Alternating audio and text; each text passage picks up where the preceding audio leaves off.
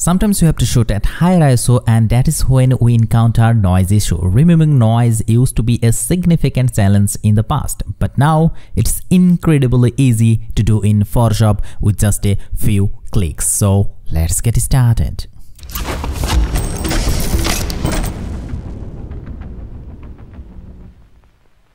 So open your photo in Photoshop okay the first thing is you have to shoot in raw to use this option okay?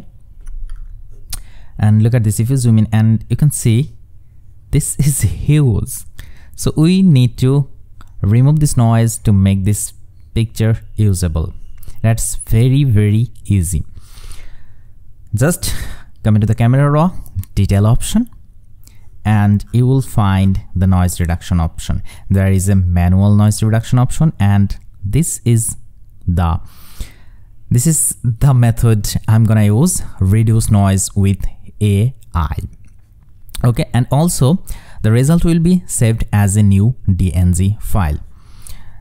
So you just need to click on the denoise option and photoshop will do the rest automatically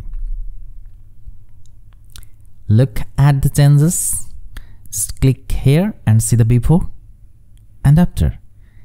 This is really really great. So you can decrease or increase the amount you want just like this. And I think around 85 mm, this picture is looking really really great. So this was the before and this is the okay I'm showing you here look at this. This was the before and this is after. Okay. And now just click on the enhance option and it will take some time. So it's done. You can zoom in and see the result. It's really really great and perfect. You can increase the texture from here.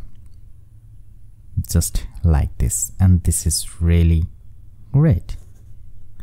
So this is done. And you can just click on the open or you can color grade from here too. So this is how you can easily remove noise with just one click maybe. So I hope you love this tutorial. If you did hit the like button leave your comments and don't forget to subscribe